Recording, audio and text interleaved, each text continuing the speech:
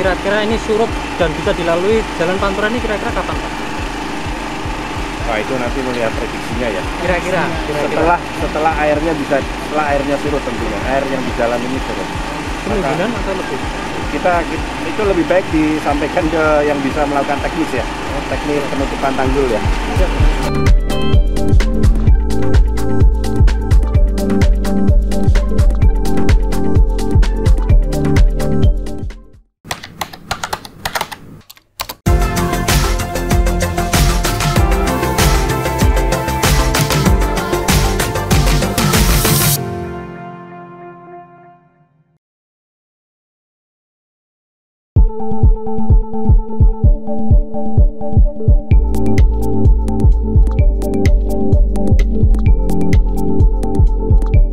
Kepala Pelaksana BPBD Provinsi Jawa Tengah, Bergas C. Penanggungan, mengaku belum bisa memperkirakan kapan Jalan Pantura Demak bisa dilalui kendaraan lagi.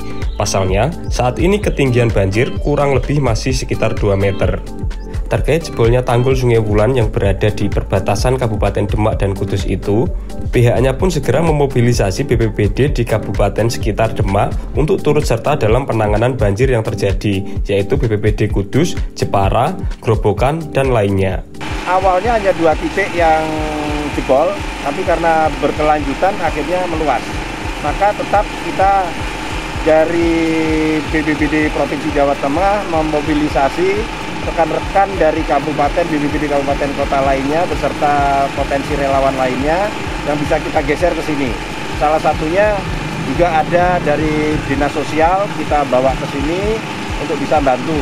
Berkaitan ini memang sebetulnya titiknya tidak hanya di Karanganyar, tapi ada juga di Kemplik Wetan, kemudian ada di Karangrowo, Demak itu juga ada. Ya, maka yang kita lakukan adalah pertama kali adalah evakuasi warga. Pak, evakuasi kan masih terus berlanjut ya Pak? Yes. Ada kendala nggak Pak? Kalau berkaitan kendala memang salah satu yang ada di Karanganyar ini adalah satu kedalaman, yang kedua arus.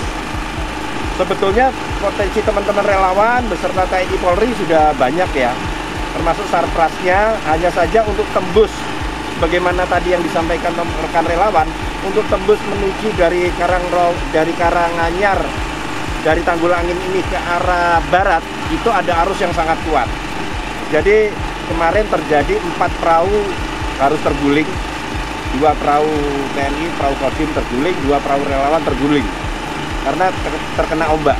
Maka akhirnya evakuasi dilakukan hanya di daerah utara Karanganyar sama yang bisa dilakukan evakuasi di pinggiran sebelum sebelum masjid atau pasar Karanganyar karena di di arah masjid dan pasar Karanganyar ini sangat kuat arusnya. Ada warga yang belum bisa dievakuasi nanti upaya-upaya dari BPD sendiri dari Ya ini tetap melakukan penyisiran sambil tadi dilakukan upaya-upaya untuk bisa tembus ke arah barat.